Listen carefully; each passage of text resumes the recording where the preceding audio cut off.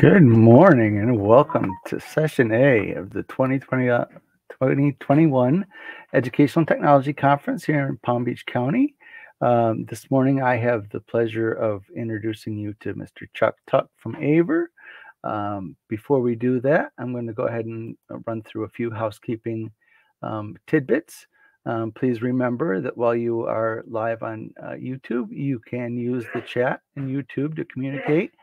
Um, please, while you're watching the video, remember to like and subscribe. And if you do by chance see any users in the chat with wrenches, they are our moderators. So if you have any specific questions for the Palm Beach County team, you could chat at those moderators and they can answer questions for you. So thank you for that.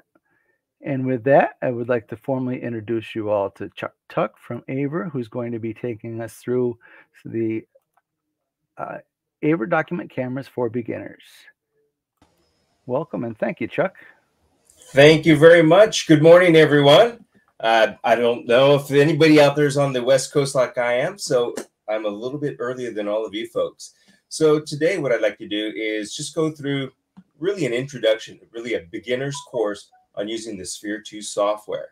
Now, for I think almost all of you folks out there with uh, Palm Beach County, Palm Beach, you folks probably have the U50 or the U70, U70 Plus document camera. I have the U70 Plus connected to the Sphere 2 software. So when we get into the live portion, that's what I'll be using. And again, remember later on this afternoon, we'll have an advanced uh, section. And the advanced section is going to be similar to this, but I'll dive a little bit deeper into uh, the use of the document camera and the Sphere 2 software in a live situation. So without further ado, let me go through this uh, PDF and we'll talk about the Sphere 2 software. So the Sphere 2 software is by no means is a new software, but it is a widely used software. So as it says, it is it was released back in 2015, but it is still currently being widely used in 2021. So the Sphere 2 is a standalone uh, Aver software for PC and Mac and it gives um, users an access to many handy features like video recording, picture-in-picture, and annotation, uh, as well as a number of unique and advanced features like an automatic image correction. You've got your side-by-side comparison mode. Uh, you also can build up a personalized media library. So that just means that if I'm capturing images or creating video content, I can house them in a specific folder uh, that's connected directly with the Sphere 2 software. So as it says, it's it's really a simple to use software. The layout is pretty clean and it says it take only minutes to learn, but you know, it might take some of us like myself, it just took a few more minutes than just a minute or two. Uh, so hopefully you've used it or hopefully you've seen it. And if you haven't, it is a free download on the averusa.com slash education website. Now, the Sphere 2 is also available for tablets. So it's available on the iOS and Android tablet uh, platform.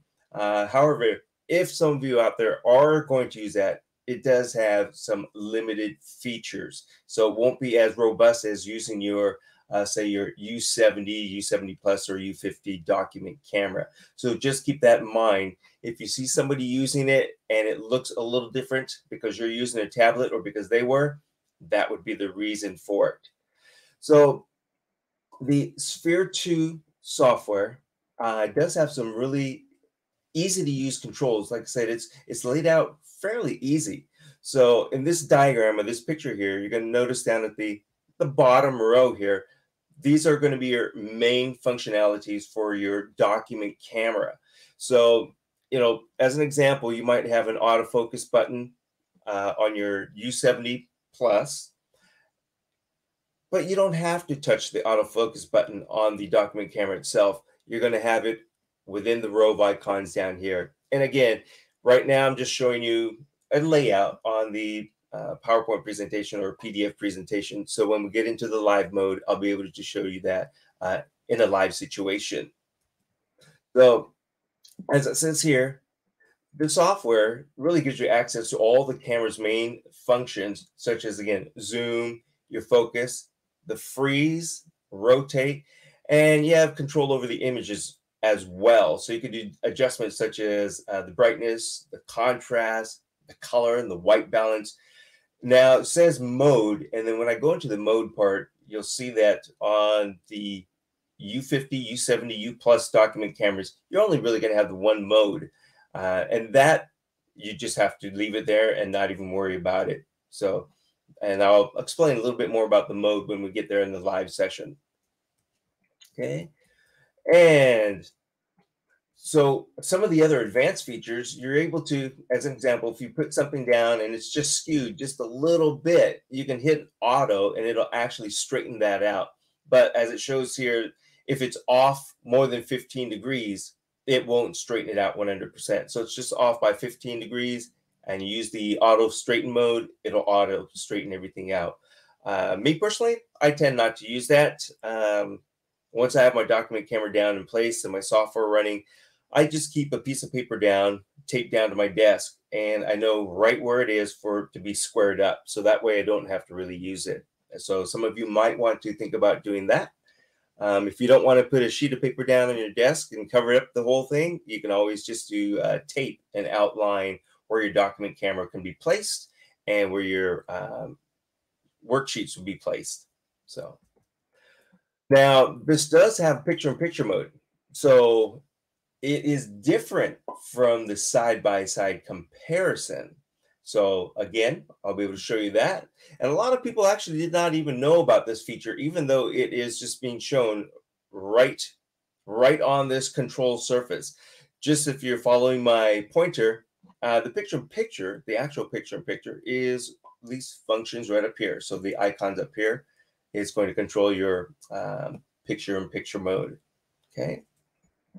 So as it says, stream live video from a, a, second camera. And that again is if we're doing a picture in picture mode, you're going to be able to have a, a second video live. So that might be, as an example, a, a webcam.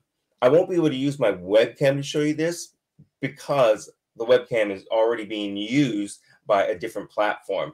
But I have another camera connected, so you'll be able to see two cameras live. And when I mean two cameras, it would be the document camera, and then my other camera is going to be live. So, and then the media library that you're going to be able to build.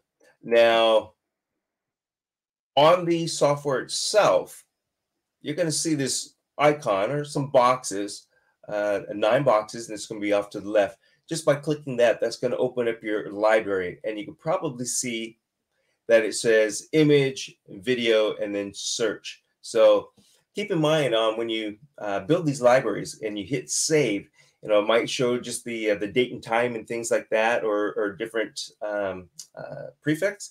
If you actually name them something specific, when you use the search button, it'll actually be able to look for that. So keep that in mind again. So again, if you capture images and you just save it, it may just save it as that uh, the date. But if you want to be able to search for it and you have different categories, go ahead and, and name it. That way, when you do your search, it's a bit easier to find uh, your different images or videos that you have captured and saved. So that, you guys, is a is a very helpful tip. Trust me, because if you end up taking and capturing a lot of images, you may end up sitting there for a couple of minutes searching and trying to find where is it, what is it, and with the icons being a little bit small, it might be a little bit difficult to to actually visually to see where they're at. Just to give you a quick example, maybe you might put math uh, one or math page one or something like that. So just keep that in mind once again. Remember to label things whenever you capture and save. Okay. Uh, as it says here, you're able to create your own media library. So again, it's just all of your videos and images that you capture, and it's using just the Sphere 2 software. So again, you can capture images, you capture video. Now, what if you want to quickly be able to share this or post it? Well, you do have some ability to do that. So within the software, you can actually connect it to uh, your Google Drive, your Google account, your and then over to I believe YouTube, and then an FTP. So does. We don't have these others like the Dropbox or uh, Twitter or anything like that or Facebook, but you do have, as mentioned, your Google Drive is a big one that you can use, and you can upload it directly to there. And then if you are working in a remote situation or hybrid situation, students, if they have um, access to Dropbox or excuse me, to uh, the Google Drive, they could immediately pick up that worksheet that you've been working on underneath the document camera or whatever the images that you've captured and shared. So keep that one in mind as well. And that's just giving us an example there, telling us what we can use to share. Uh, as it says, there's a handy annotation tool as well. So again, on the bottom row of icons, when we go live, you're going to see that it's got the camera, it's got your annotation tool, it's going to have your video recording, your capture, and then a, a couple of little features here that I'm going to get into right when we go live. Moving on down the screen, here's a really neat one too. As an example, if I'm using my document camera as a webcam and I have it facing towards maybe a guest speaker um, or guest lecturer, and that document camera is showing up there, I can use my annotation tools to annotate over top of that video live. So if I want to record it, I can do the same thing as well. I can record and annotate over top of it. So that's a really neat feature. So that's something where you can think about content creation. Or if you have a student maybe uh, that gets up in the front of the classroom and you just want to use your document camera to capture them, uh, whether it be a still image or video, again, you can do that. And then keep in mind, you can actually annotate over top of that as well. And then that last feature on the bottom right, just a couple little features here. So you're able to highlight or just put a circle around so it'll focus in on an area that you want to be able to have the students to uh, concentrate on. So you might be saying, well, Chuck, what's that good for? What am I going to use that? Well, one of the biggest things is going to be for uh, geography or maps. You know, you want to be able to use the transparent or semi-transparent background so they can see the entire map. And then you can have them look within that window and they can specifically see what's uh, being shown. So that's not going to be highlighted. And you can turn that into a, a circle or an oval or square. So a couple of different shapes. And then you can control the size as well. It works great if you're doing with vocabulary or math as well. And then there's one other feature on here. It's going to be like a reveal. So it's a digital reveal. So some of you recall, remember the days we used to reveal line by line? We just put down a sheet of paper and use our overhead projector and we just pull down the sheet. Well, this will do it digitally. So again, I'll show you that when we go into the live portion here. And this is just showing a little bit more when we're getting into uh, your recording. So again, on the recording, I can record or capture images. You can capture images, it's going to be a still image, or you can actually do a time lapse. So, time lapse is pretty good if you're going to do anything in the biology or the sciences. So, you can do anything anywhere from, say, oh, every five seconds for the next uh, minute, or you could go every second all the way up to the next 72 hours. So just be consecutive, just capturing image after image after image. So that's something that's really useful in a uh, science or biology classroom. Or if you have any curiosity as to, you know, what is happening over the weekend outside of the classroom window, well, you can set this up and you can hit that to record or not record, but to capture uh, continuous images. It'll take a snapshot. So if you say every second, well, whatever one second times, you know, 72 hours is, that's how many photos you're going to have when you get back. So make sure you put them into a folder and don't have them just go all over your desktop or something like that because you it'll be cluttered with images when you get back on Monday. And again, I'll go through all that and I'll show you uh, all those different features. Now, this is something that I was going to go into a little bit later, but uh, just so you know that when you download the A plus uh, suite of software, which has the Sphere 2 software, it will actually include a plugin for PowerPoint if you want to use that. Uh, that's going a little bit more advanced. We don't really need to do that. Uh, it does have a floating toolbox, which actually gives you the control over you know, taking pictures or videos and things like that within your uh, PowerPoint presentation. Okay. And that's just giving us or letting us know that that's what you can do here. So you do have all of the features. Again, you could capture images, uh, videos, you can freeze frame any one of that. And again, most of this stuff that I'm just showing right here is really just going into an advanced mode. So I'm just going to go past this. We are coming right up to the end of the presentation part as far as the slides go. Now we're going into the live. I don't know if you have any questions, but please uh, feel free to put in that chat box for any questions. Yeah. I would try to answer some of those. Hey, Chuck. Actually, we, we do have one question, and I think Trent uh, might be helping out in the chat. But it says, just out of curiosity, when you add to the AverMedia library, does it save to the desktop's hard drive or to the document camera itself, like it did on the F50? Ah, good question on that. It will actually save it to the to the computer itself, and you'll be able to designate um, if you have multiple drives or if you have a specific folder that you want to save it. And I'll be sure to go through that on the live portion. So thank you for that question. Thank you. And Let's see. Any other questions coming up? Uh, nope, but we are monitoring and we'll let you know. Thank you. All right. All right, folks. I'll go ahead and switch over to the Sphere 2. And hopefully you're able to see this. So this pops up. Let me minimize that. And I'm going to open full screen here. Looks good. All right. So I already have my document camera launched. So this is a live image. And again, I am using the U70 Plus document camera, which I believe with uh, with Palm Springs, it's the U50, U70, U70 Plus is pretty much um, uh, across the board. So if you're using a different document camera, uh, it's going to be the same image. You're going to see the same thing. And the, the icons down at the bottom will be the same. So let's go ahead and start from the very, very top. Again, remember, this is just a beginner course. So I may not be going into showing you every single thing in detail, but I would do my best to show you a complete working of a beginner going into using Sphere 2. The first thing, if, if you happen to have Sphere 2 already loaded on your computer and you haven't used it in a while, I always go to the About Sphere 2. If you click on that, you can actually check for updates right here. So this is a good place to start just to make sure that it is updated. So be sure to do that. Once you've done that and you've uh, been sure that it is up to date, let's take a look at a couple of other things here.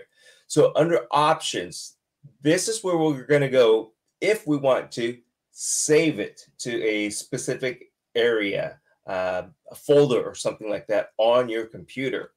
So here again, you can use whatever prefix that you want to. Uh, if you want to put class one or whatever it might be, go ahead and put that right here for the prefix. Now on the on the suffix on the end, you know, it shows the minutes, date, hours, uh, the year. You could change that around a little bit. The reason that we have it nailed down to the minutes, the date, the year, the hours, the minutes, the seconds is if you're doing that um, continuous photo so we're doing that time lapse photography. This is fantastic because it tells you exactly down to that second, you know, what is happening here. So as an example on that, if some of you recall, remember when we used to take a string and pencil, lay it across, we put down, what is it? I can't even remember, sugar, salt. But if we want to see it crystallize uh, over over the weekend, or you know, if you want to watch a, a chicken hatch from egg, you can do this here, and it'll show you by the hours, minutes, and seconds exactly what is happening at that time. So again, this is really great for those biology uh, science classrooms. Okay. And this is the example that's going to have. So if I put BIO, it's going to show BIO. Uh, so just go ahead and change that to BIO. And you know, once I update everything, that's what your title is going to look like. It'll say BIO. Now, location. Here is where you can specifically save into a folder. I suggest that if you're going to do something like a time lapse photography, and if you're going to have it for, you know, uh, 24, 48, 72 hours, and you're going to capture an image every second. I would go in here and I would personally, I would make a specific folder for that because there are going to be so many images. So this is where you're going to go and you're going to select where it is on the computer that you want to save the images. So uh, if you, again, if you have any place specific, be sure to do that. Or if you're going to be saving it to um, a thumb drive of some sort, make sure that you designate that it's going to be saved on that thumb drive so it can be portable for you so you can take it to uh, your next class or, or home or wherever or whatever you want to do. Uh, file format. You know, you do have your TIFF, your PNG, and your bitmaps. For the most part, uh, I I suggest leaving on the JPEG. It's most widely used. Uh, it'll open up in any, you know, any uh, picture viewer. So JPEG is really good. Uh, it is. It does a great job of compressing the image to the file size, so it's not going to be overly large and things like that. So um, you do have your choice though. Okay. And right here, always save captured images in a hard disk. So if I don't want to save it to the hard disk, you know, where I'm telling it here, uncheck that. And then this just says that whenever I capture the images for it to open up immediately, you don't have to have that. Sometimes if you do capture that image or the video and you have that checked, it's going to automatically pop up as soon as you take a picture, you know, a second later pops up. That might be an interference for you, especially if you're capturing a lot of worksheets and you're using this for content creation. So you can keep that unchecked. Video, all the same thing right here. You know, I'm, I can select my microphone, the hours, minutes, and seconds, MP4 or AVI. On this, folks, leave it on MP4. It is a good compression for uh, reducing the size of the video. AVI is going to be much larger, uh, so it'll take up more space on your hard drive. Uh, AVI might be a little bit better in image quality, but MP4 is going to be perfect. Uh, again, your file location right here. I'm going to start going a little bit faster so I don't run out of time. Image setting, now, you notice that I have your straighten image your white balance, exposure, contrast, all this. And I only have my white balance and exposure checked. Uh, I, I, again, me personally, I don't do the straighten image because if I put it down, if it's 16 degrees off, it's not going to put it exactly where I need it and it's going to try. So I leave that unchecked. And that way I control everything as far as, you know, the angle of where my document is. Uh, contrast, I like to leave that unchecked because I don't know what the, the lighting situation and things like that is going to be. So I like to just keep that unchecked. Uh, for flicker, we're here in the States, just go ahead and use the 60 hertz. But you can make any of your adjustments and changes here if you like. Now, when you come over to camera setting, most everything that you see here is going to pertain to a wireless document camera. So you folks are not using that, where you can see the IP address for the camera and so on and for, so forth. Right here, though, USB cam and wireless firmware upgrade. You can always check setting. It's going to bring you over to see if, you know, if there has been an update for a document camera that you have connected. It's going to name it right here. As you see that this is the U70 Plus. Uh, my current version, it's free status, and it's not highlighted, so there's no upgrade. Uh, I'm up to date on this. So that's kind of an important one too. So some of these things think about as troubleshooting. If for some reason something doesn't is not working quite right, make sure your Sphere 2 is updated and make sure your document camera firmware is updated. Now this last row of this last icon up here is for the upload. So right here again, you've got your Google Drive, you got your YouTube and FTP. Currently, I have uh, my Google Drive is linked. So if you're going to link something, again, it's just a matter of click on link. It's going to bring up a, a, a, window and it's going to ask you permission that you, that you can link to that uh, that platform. And then that's where you give it permission. You sign in and do everything. So just go ahead and get out of there. All right. So I'm just going to click cancel for any change I've made. I don't want to save it. Now, the rest of this stuff up here is just your viewing. Do you want to go full screen? You know, uh, do you want to see your media library, your resolution? So if you see where it says HFR, uh, high frame rate, I just leave it on that. There's almost no difference between this one and uh, the standard. But if you're moving, you really shouldn't see that much of a delay at all. So the HFR is going to be your best. Keep it there. Uh, languages, you have all those different languages. And the print mode if you want to print what's on screen. So I won't click exit because it'll take us right out of the software. All right, so let's go ahead and start down at the bottom here. Uh, before I get to that, uh, has there been any questions that's come up? Uh, not since we last spoke. Okay, fantastic. Uh, remember, folks, if there are, if you do have any questions, please go ahead and put it in that chat, and we'll get to that. All right, so down here, you saw this on the uh, the picture on the PDF. So right now, this is the camera control. If I was to click on that, uh, it gives me the ability to freeze frame. Now, this is something that a lot of people forget about using, but freeze frame is really, really great because, as an example, if if I'm pointing to this letter or this word and I freeze frame, uh, I say, all right, kids, find the word that's in this line or what you know what problem is the answer to you know, to this or whatever it might be, and then I can say, well, no, it was actually um, up here.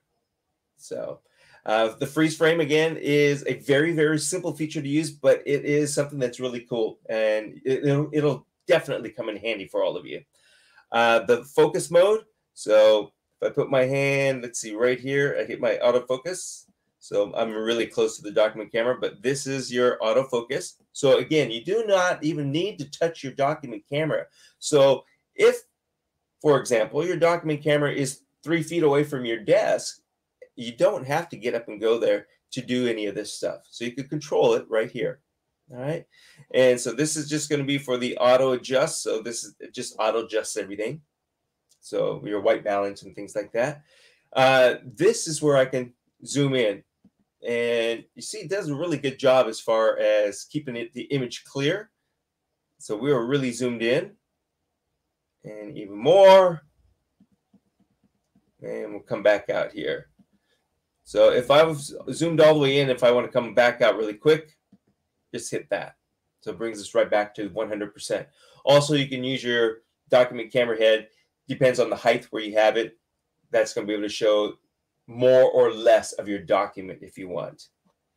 So this over here, these are very simple. Just rotate and this is just going to be rotating in reverse direction. So you might say, okay, great, Chuck, I can rotate. So what? Well, think about it this way we have limited real estate on our desks as educators, and we might have to put our document upside down to us, or the document camera might be facing the other way. So this is when you're going to use that rotate. So you're able to rotate so it looks straight for the viewers or it looks straight when you are recording or doing capture of images. So um, this comes in handy again if you have limited space on your desk and if you have to turn things 45, 90 degrees.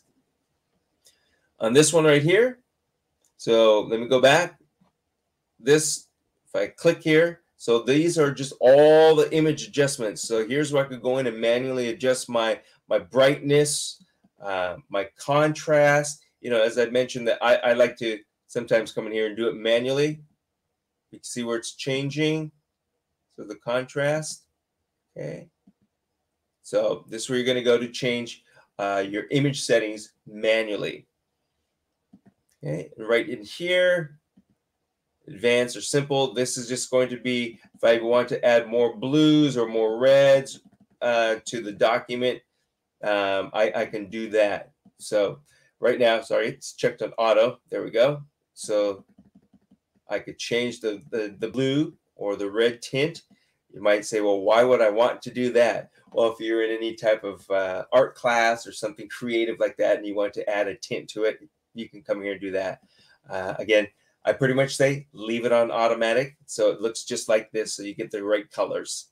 Okay.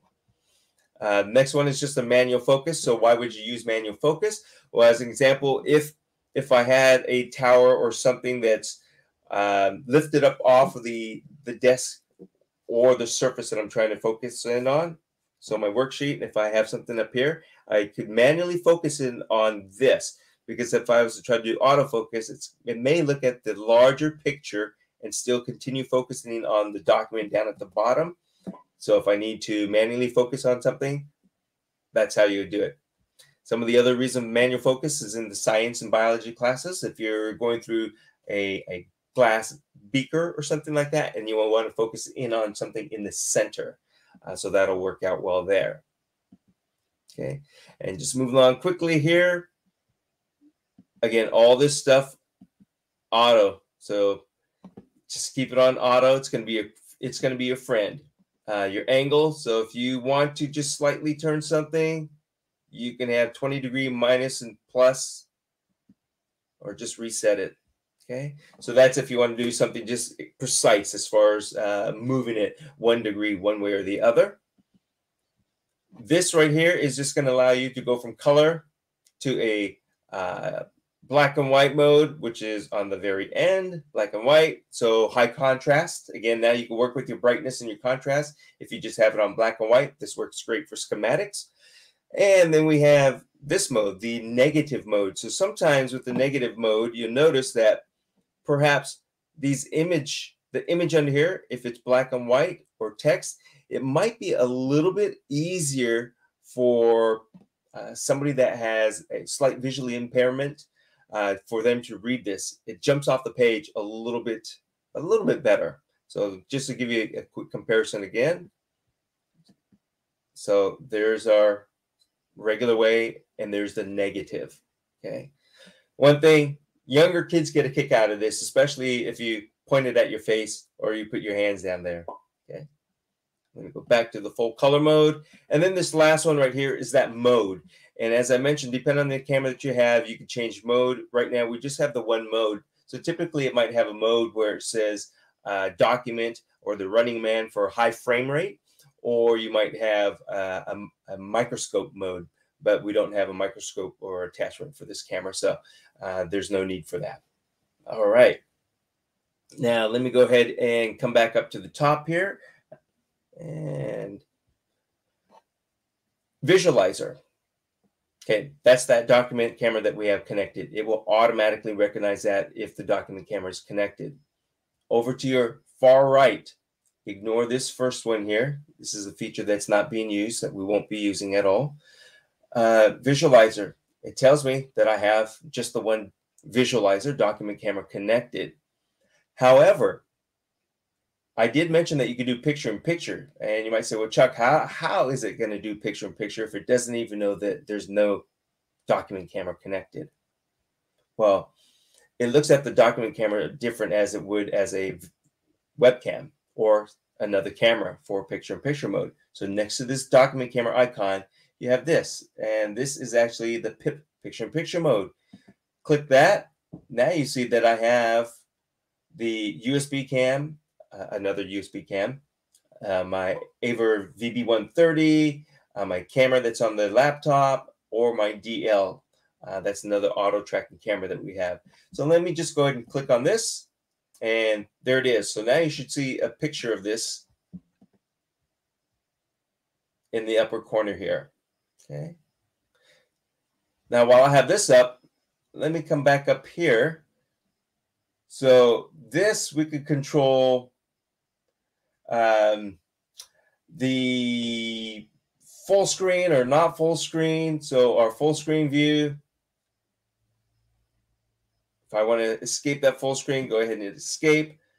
If I wanted to change this, uh, the PIP mode, make sure that I select a different camera and it'll just go to the other camera. So that's how you're going to change it. It's very limited in what you could do, but at least you still have this one live image and you have that second image and that image is actually live. And what you might notice is depending on your connection, if you're doing this, if you're streaming this, you know, it's going to use a little bit more bandwidth because now you have two live cameras. So keep that in mind. So if I want to close out of it, you see this little wheel here, I can reduce it, or I can make it larger, or I can actually cancel out of it, there's a little X and click that. Okay. So we're back to this live image. So I don't know if you noticed that when I had my hand down there, when I had that second window, it may have had a little bit more of a delay. So again, keep in mind that if you're having two cameras, it's going to use that much more um, bandwidth. So that's the reason why you may have some delay. Okay. So now let's take a look at some of these others. Again, the resolution, you do have control. Again, I do have this on the high frame rate, but you can reduce the resolution or you could go up in resolution. Okay. And again, this is going to just say, do I want to fit to the screen or do I want to go to the original size? It's it's just as quick and just as easy. Just use, you know, like a full screen if you want. But just to show you here, original size, it's just slightly different there or full screen. Okay, and I always use that escape uh, ESC, and you could get right out of it. So just a couple more things for you on this uh, beginner course, and this is just going to be the icons over here, and then we'll be able to open it up to any type of questions that we might have. So the side-by-side -side mode. So on side-by-side, -side, if I was to click that, what it's trying to do over here is you see where it says DL30. I don't have that camera turned on, but if I was to turn it on, let's see if I have my remote handy here. There it is. So yes, I have cameras all over the place. Uh, so now we have, once again, two live images, and you see that there is a slight delay because I'm using two streaming two live streaming modes. So it's taking up a little bit more bandwidth. If I wanted to change my source, I could change it over to my other camera. And once again, you still see that there is a little bit of the delay. Up above, you see where it says two camera? I could go to as many as three cameras. And you just introduce a little bit more delay if that's what you're going to do. But now you actually have three live cameras. Let me, I'll get up real quick and you'll see that it is live. So there I am. I'm all dressed in AVer. Everything's AVer today. Okay. Casual Friday, AVer Sports Attire. So this is a really neat feature if you want to do anything as far as uh, a live side-by-side -side comparison. So there's so many different things you could do with this with live mode. I'm going to just go back to one camera and this is my document camera. And you see, once again, now there's not that delay. And that's again, mainly due to the bandwidth uh, and using multiple streams. Okay, so now I can insert an image over here. Here's my media library. I didn't capture any images. Again, this is just the beginner one, but I do have images already captured and saved. So if I come up here with this box of nine squares, you see it says video and images. I'm just going to bring in an image. So I could just drop that right in there. If I want to make this window large again, come back up to those nine boxes, click that. I can actually resize. Okay. I could come down here. You notice now my annotation tools have popped up. So I can annotate from the live all the way over to a captured image. So whatever I need to do. Now keep in mind though, now that I've selected my annotation tool, if I want to be able to uh, move or adjust the size, I have to come over here and click. So now I could control and move the, the window size, resize the window. Now you notice that whatever I annotated is not going to change in size because that is right here. So what if I want to move whatever it is that I annotated? Right here is your selection tool or select object. So now I can move that around. So there's a lot of neat things again that you could do with this. So if I have, um, oh, say I have what says serial number or you know uh, state or president or whatever it is, I can I can move it from the live image over to the captured image. So I could say, you know, here's a serial number or whatever it might be. So it depends on what you're using, if you're using math or if you're using uh, language arts or anything like that. So you could lay down a lot of different things. If I wanted to um, lay down some text. I can now move that text around. Same with shapes and whatever it is. I can take my eraser tool, uh, erase one thing at a time. Uh, or, you know, if I wanted, if I had a whole lot of things on here, just use the broom, it'll erase everything. And I'm almost running out of time here. Give me just one more minute. I'm going to show you a couple of last things here, and then we'll get into uh, uh, the closing up of everything. So within each window, if I click here, you notice that there is a row of icons down at the bottom right. Okay.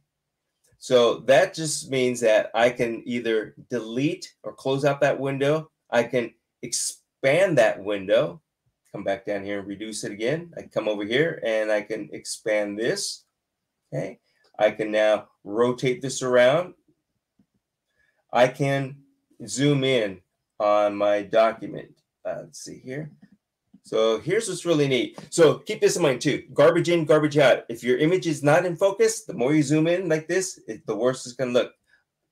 Now I can actually, this is so cool. You can pan and scan around that document. So if I've captured and saved an, uh, an image, that is what I can do. So as opposed to come over here, open this up, and if I was to zoom in on this, there is no panning and scanning on the live image. Just keep that in mind. So it's whatever you have captured, you can pan and scan on. All right, I think we're coming really close to the end here. So uh, that is really it for the, the beginner session.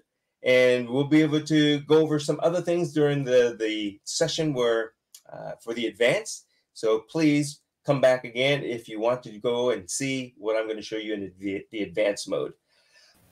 That's it for beginners course. Wow, Chuck, that was jam packed full. Thank you.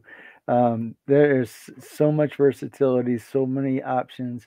Uh, it is it's so exciting to see how much the document cameras have come the forefront of this digital classroom.